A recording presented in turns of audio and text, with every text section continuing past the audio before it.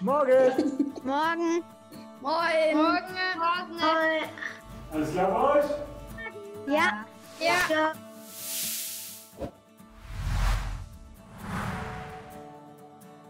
Ja, hallo, ich bin die Emma. Ich bin zwölf Jahre aus Hermeskar. Und meine Frage ist, wie oft habt ihr so mit zwölf trainiert?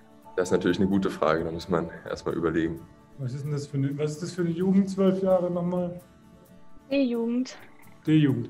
Ja, ich glaube, da habe ich so dreimal die Woche, ähm, drei, viermal die Woche trainiert. Ja, auch eher dreimal, glaube ich.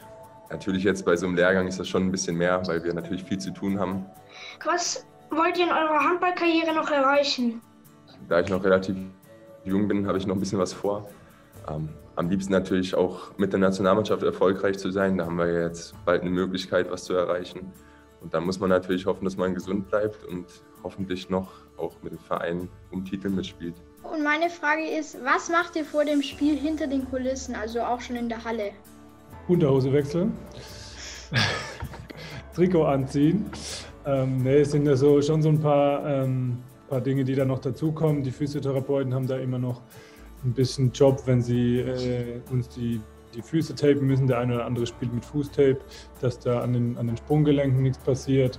Und dann machen wir uns eigentlich gegenseitig heiß und, und motivieren uns äh, fürs Spiel. Warst du schon mal auf den Nullpunkt und wolltest mit dem Handball aufhören? Und wenn ja, wer hat dich motiviert weiterzumachen? Aber natürlich, wenn man sich verletzt, das, das ist schon immer ein Rückschlag.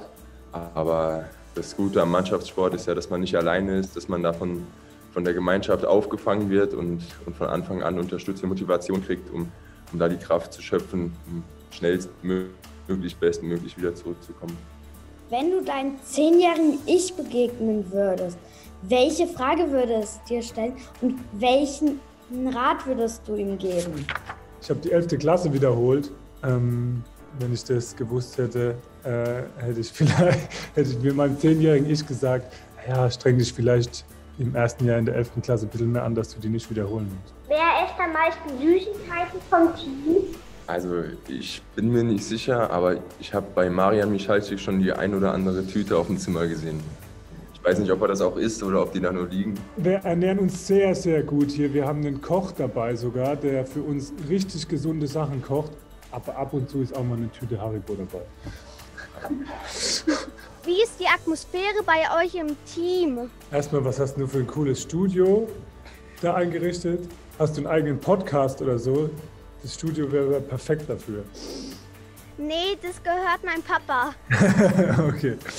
Nee, wir haben unsere Atmosphäre ist echt, äh, muss ich ganz ehrlich sagen, dass wir uns untereinander gut verstehen.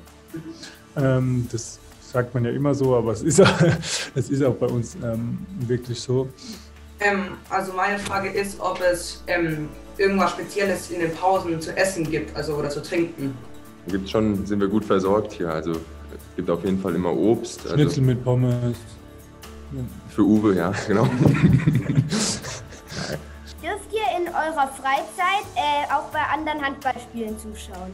Ich gucke zum Beispiel gerne bei meiner Schwester zu. Die spielt auch Handball in der Bundesliga und da gucke ich mir schon das ein oder andere Spiel an. Seid ihr aufgeregt vom Spiel?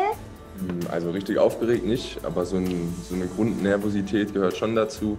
Und äh, wenn man für die Nationalmannschaft spielt und äh, die Nationalhymne hört, das ist schon, schon nochmal was Besonderes. Tschüss! Tschüss! Schönen Tag noch! Wieder Freude!